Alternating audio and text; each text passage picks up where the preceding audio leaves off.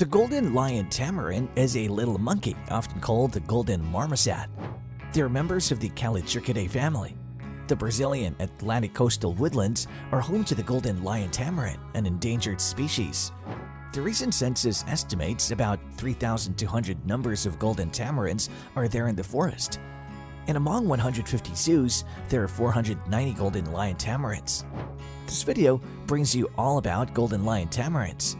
To discover more about the golden lion tamarins, stick to the video's end. Among the callitrichids, the golden lion tamarin is the biggest.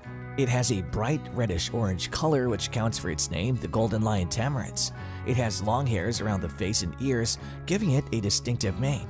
Its size is about 10.3 inches and it weighs around 620 grams. Both males and females have no size difference. Monkeys and apes have flat nails, but the golden lion tamarins have claw-like nails. Its movement is similar to the squirrels as they can cling to the sides of tree trunks. The golden lion tamarin is confined to three small tropical rainforest areas in southern eastern Brazil, Poco das Antas Biological Reserve, Fazenda União Biological Reserve, and Private Island through the Reintroduction Program. Tamarins inhabit lowland coastal woodlands that are no more than 984 feet above sea level. They can be found in swamps and highland woods. The golden lion tamarins are active for 12 hours a day. They don't sleep in a particular place, they change dens daily. In this way, the predators won't be able to catch them easily.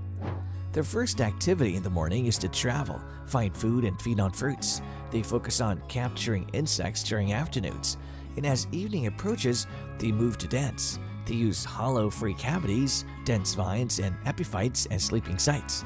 They select places with a height of about 36 and 49 feet above the ground. They tend to be active earlier and retire late during the warmer days as days are longer. The golden lion tamarin is an omnivore that consumes fruits, flowers, nectar, bird eggs, insects, small vertebrates, and other foods. Tamarins employ bromeliads, palm tops, palm leaf sheets, woody fissures, vine tangles, tree bark, decaying logs, and leaf litter as microhabitats for food hunting and other everyday activities. They catch the prey with the help of their long, elongated hands and fingers from crevices, under leaves, and in dense growth, a behavior known as micromanipulation. They consume 10 to 15% of insects in their diet. Other foods they consume are small and pulpy sweet fruits. In the rainy season, the golden lion tamarin mainly eats fruit. During drier times, it must eat more other foods like nectar and gums. When insects become scarcer at these times, Small vertebrates are also eaten more frequently. Golden lion tamarins are social animals in groups of 2 to 8. This group contains a breeding adult, male and female, in a reverse way, like 2 to 3 males and 1 female. Other members will be the offspring of the adults of both sexes. At the age of 4, both male and females leave the group. Females replace their mother as the breeding adult when they die, and the breeding male will disperse who happens to be the father. The dispersed male will join another group until they find a new group where a male dies or disperse. Insects become scarcer at these times, which increases the consumption of small vertebrates. These small creatures are highly territorial, and the group will defend their home boundaries and resources from other groups. When the golden lion tamarins are alarmed and they fear a threat, they make whine and peep calls. Trills are used to communicate over long distances to give away an individual's position. Rasps and screeches are usually associated with playful behavior. They make clucks while they hunt food and encounter predators. Throughout their territories, they mark with chemicals to communicate. Dominant males use scent markings to show their dominance, thereby suppressing their reproductive abilities of other males. They're usually monogamous. One will mate with a female in a group of two mature males, but there are cases like a male mating two females, a mother and a daughter. The mating season lasts from late March to mid-June is when reproduction is at its height, and the birthing season which lasts from September to February when it reaches its apex. The gestation period is 4 months, and the most interesting thing is that they usually give birth to twins. Sometimes triplets and quadruplets may also happen.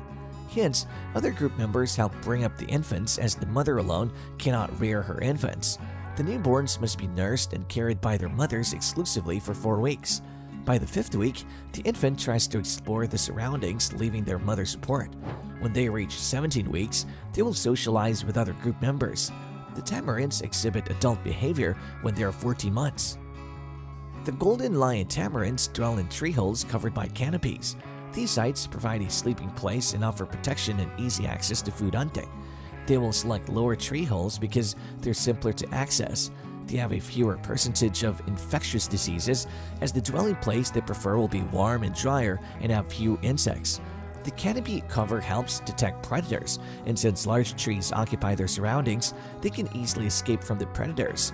But nowadays, their habitats are degraded. They have fewer trees to support the entire group. Hence, they're forced to use bamboo, vine tangles, bromeliads as a sleeping site, making them more susceptible to predators. The increased deforestation has decreased the habitat space for the golden lion tamarins, providing predators easy access to their prey and causing a decline in the golden lion tamarin population. In order to permanently preserve the tamarins in their environment, Zoo Atlanta has joined the Golden Lions Tamarin Association, a Brazilian non-governmental organization. Because of conservation initiatives, almost 3,000 golden lion tamarins now live in the wild.